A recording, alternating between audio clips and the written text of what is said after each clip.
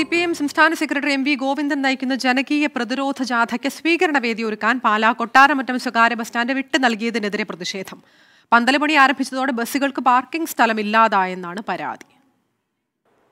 കഴിഞ്ഞ മാസം ഇരുപത്തിയഞ്ചിന് ചേർന്ന പാലാ നഗരസഭാ കൗൺസിൽ യോഗത്തിലാണ് കൊട്ടാരമറ്റം സ്വകാര്യ ബസ് സ്റ്റാൻഡിൽ പന്തൽ നിർമ്മിക്കാൻ അനുമതി നൽകിയത്. യാത്രക്കാർക്കും ബസ് ജീവനക്കാർക്കും ബുദ്ധിമുട്ടുണ്ടാകാതെ പന്തൽ ഒരുക്കണമെന്നായിരുന്നു കൗൺസിൽ നിർദ്ദേശം. എന്നാൽ അത് പാലിക്കപ്പെട്ടില്ല.